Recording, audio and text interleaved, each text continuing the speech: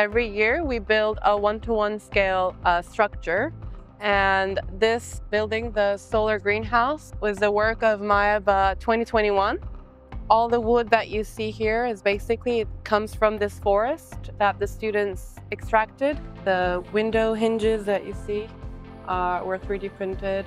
And we use um, sawdust and we use it in the trays so that it absorbs like excess amount of water. Um, so the plants don't like uh, basically yeah swim in the water. It's a hydroponic system, so we don't have soil in here.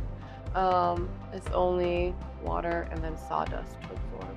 The greenhouse has two floors. So we're on the top floor right now, and there's another one below us where we have the um, tanks. So you see all the germination uh, trays. We have all the seedlings here, and this is where we have the tanks that are, yeah, for the water that also goes upstairs.